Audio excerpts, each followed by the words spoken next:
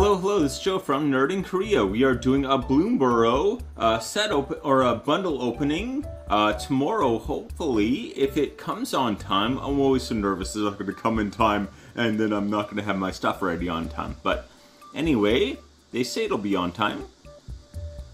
Okay, so these are the top five budget picks. My top five. Um, here actually stuck. I always stick to my two dollar budget range, so that's two dollars or less, and I'm using MTG Goldfish this time, just because it's much easier, frankly. And um, I these ones are all really close to the two dollar mark. I usually I do go through and make sure that I really like the ones that um, are around two dollars and under. And this time, it, I actually think I kept right to the like the top five that were like two dollars, and then down from there. I kept it right on because I thought they were actually really solid. So yeah, um, I wouldn't make any major changes anyway. Okay, artist talent 182. So this is a class enchantment. Uh, whenever you cast a non-creature spell, you may discard a card. If you do, draw a card. Nice uh, discard draw. Pretty standard red card draw type of mechanic. Again, this is one in a red, sorry I should have said. And then you can level it up to level two for two in a red. Remember, leveling up is only at sorcery speed. You cannot activate this during other people's turns. Okay? Um, Non-creature spells do cast cost one less to cast. Okay, that cost reduction is huge.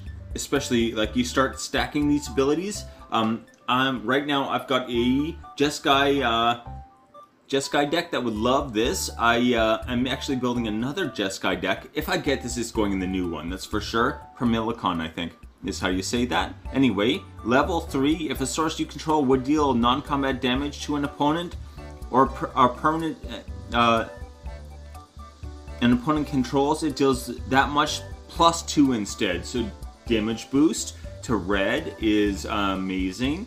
Um, red has a lot of effects like this, and you just stack them up, right?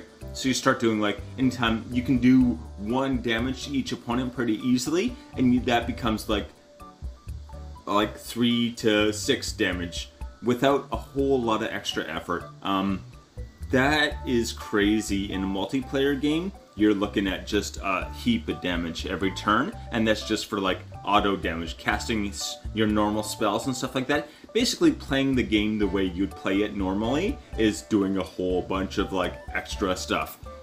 Okay, 182. Patchwork banner. I love this just because like it is uh sorry. It is three colorless and this is basically a mana rock that gives a plus one plus one to all of your creatures of one type. Okay, so kindred decks, right? This I would put straight into my uh, ally kindred, or maybe my Chatterfang for the squirrels. But anyway, a mana rock that is uh, that has a buff for kindred is just so good. It's only three to cast, so it's pretty standard mana rock co uh, uh, cost.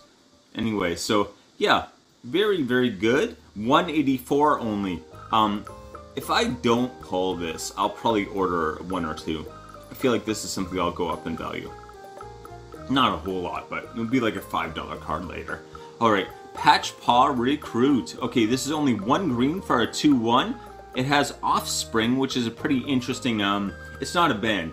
It's an interesting mechanic. Alright, so you may pay an additional 2 as you cast the spell. When you do, it, when or sorry, when it enters, create a 1-1 token copy of it. So it's going to make a token copy of itself, which is very good. Remember, the token copy has all the other powers as well. So trample, sure, why not? And whenever a creature you control becomes the target of a spell or an ability an opponent controls, put a plus one plus one counter on target creature you control other than that creature. So if someone targets any of your creatures with uh, any kind of spell, you get to put a plus one plus one on any other creature, not the targeted creature. And then, especially with the effects that like Selesnya will use, where it's like, if you put a plus one plus one counter, put another one and maybe another one, and yeah. It, you'll, they'll end up being like, is it worth it? Especially with Offspring, because this is doubling it. If you also have something that adds a plus one plus one counter, Your uh, if they target anything of yours, it's like plus four plus four to a creature uh, permanently.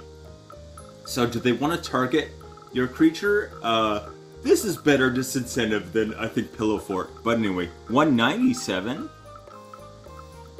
Uh, consecrate consecration mage? No, I'm not saying. Coruscation mage? Uh, coruscation mage. Alright, I don't know that word. I feel like I should. I've been teaching English for like 15 years now. I don't know Magic Gathering words. Anyway, one are red for an otter. Okay, it's an otter, folks. Anyway. It has Offspring too, so you can make that token copy again. And whenever you cast, cast a non-creature spell, this creature deals one damage to each opponent.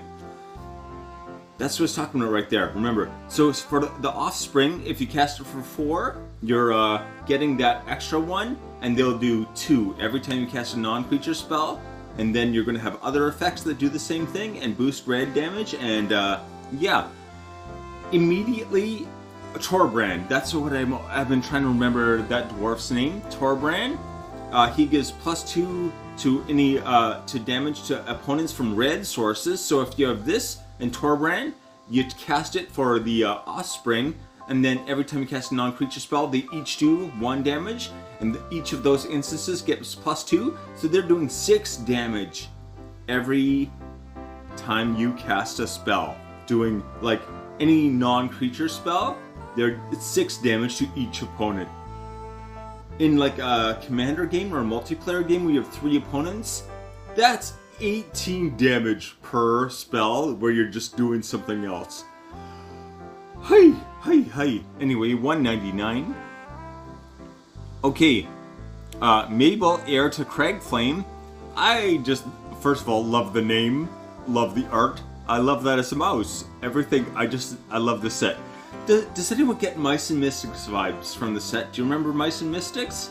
It was a board game. Uh, I love that game. I still have it. Uh, but yeah, it came out quite a few years ago now. But it's uh, it's awesome. It's an RPG where you're basically like a D and D party that gets transformed into mice, and then you have to like battle your way to humanity, basically. Uh, great one. Oh, so other mice you control get plus one, plus one. Anthem effect, great start, right?